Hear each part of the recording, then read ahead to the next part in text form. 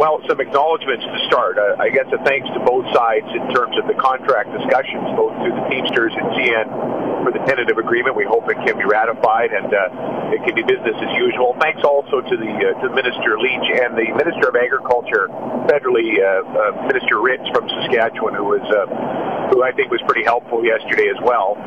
You know, obviously we want to allow the collective bargaining process at any table to proceed as it should. Uh, but a strike right now is just unacceptable for the reasons that you've mentioned. We have a very, very serious challenge facing our economy in the West, and specifically the grain economy, uh, because we simply uh, can't get uh, the, the grain moving the way we, we need to get it moving. So a strike now would not have been on, and, and uh, you know, we, we sent the letter as soon as we heard about the strike notice, 72-hour notice yesterday, I was speaking at the Ag, uh, Agriculture Summit in Saskatoon, and right after that, we heard the news and we sent the letter immediately to the minister, and you know there was that response. So we're uh, we're grateful for that again, and grateful to both sides for the tentative agreement. Well, one final thing, John, it's very important now that the rail companies themselves deploy whatever resources they need uh, to get the grain moving. We're hearing of a you know of a locomotive locomotive shortage potentially as part of the issue. Personnel shortage part of the issue.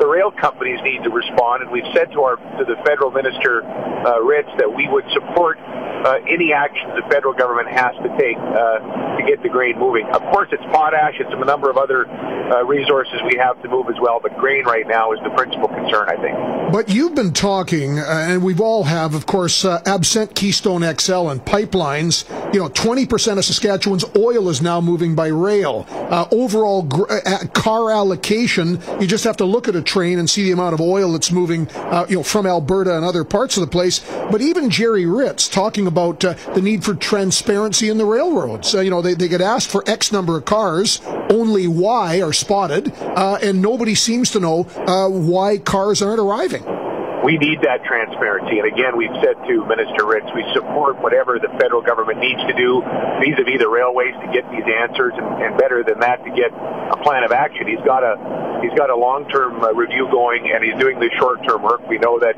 uh, Minister Ritz has been meeting with the companies. Our own Agriculture Minister Lyle Stewart's been in direct contact with them. We need to have the grain handling agencies also to be uh, front and center, and uh, uh, you know, and there's some some questions around uh, uh, some pricing there around the, what you know what's known as sort of the basis uh, piece around the, the grain handling. So we need to make this a priority. I'm, I'm hoping that the new West provinces, Alberta, Saskatchewan, and British Columbia, uh, when we meet here this spring, can also make logistics a big priority. John, some very good news out today on, on the export front. We actually broke our own export record from 2012. 2013 is a, uh, shows exports 4.6% higher, uh, so we broke our own record. Uh, we were ahead of British Columbia 212. We're tied with them this year, and uh, the folks at the Trade Export Partnership tell me this morning that we'd actually be ahead of BC again, except for logistics. We've got to get this right. We have a great story happening in our economy here and in Western Canada in general, but we've got to get our, our goods to market, uh, and it's got to be sort of all of the above, all hands on deck, all the stakeholders in the logistics system making this the priority that it needs to be.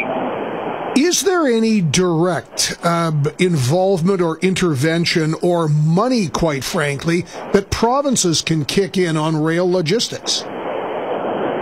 Well, I, I think that's going to be part of the long-term discussion. I really do. Uh, we've said all along that when it comes to that Asia-Pacific gateway infrastructure, we support both federal investment and we would we'd look at a regional investment as well. That might well be on the agenda when the new West uh, provinces meet. Again, that's that's to have provinces in the West, Saskatchewan, Alberta, BC.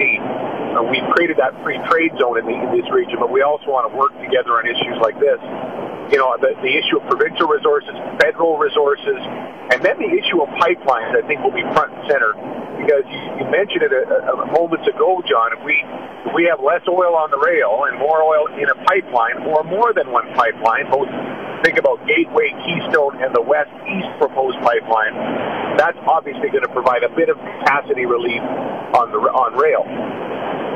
Premier Brad Wall, before I leave you, supporters of the uh, now uh, no longer monopoly Canadian Wheat Board have said if we had the Wheat Board, we would have better allocation of grain cars. How do you respond?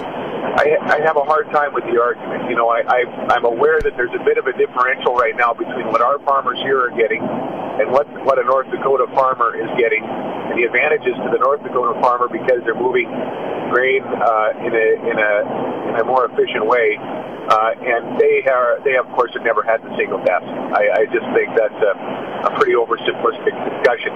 What we have is a record harvest, uh, inspiring with. Uh, uh, more traffic on the rail with uh, in terms of oil, as you referenced, more commodities in general from the west, and terrible weather. We have these uh, prolonged periods of cold weather, which which I'm told shortens the length of trains, and so uh, I, I think it's a bit of a reach to blame this on um, on marketing freedom.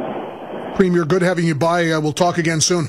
Thanks for your time, John. Premier Brad Wall, we find on the road, uh, wanted to get a quick snapshot on the state of grain handling and uh, what is known in the biz as logistics.